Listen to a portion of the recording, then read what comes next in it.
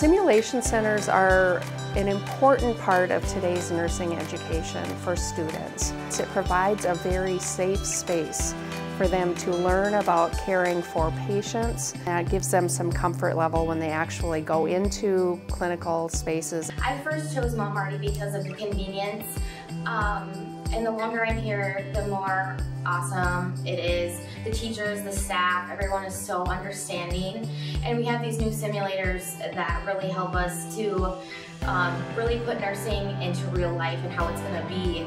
Um, every situation is different, obviously, but these help us get through the really stressful times and show us how to be our best and put our best skills forward to take care of our patients.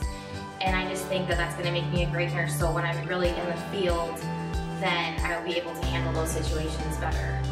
We also are very proud of our timeline and historical uh, displays that we have within the Simulation Center. We have a timeline that really showcases nursing from the 1920s to today at Mount Marty College across all levels of nursing. We're really excited about this new center because it really will provide students with the opportunity to be excellent providers.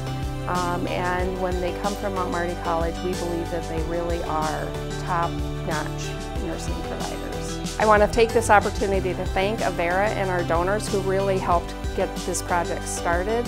Uh, but we're not done yet. Our programs are growing and we have a bright future here at Mount Marty College and we thank you for your ongoing support.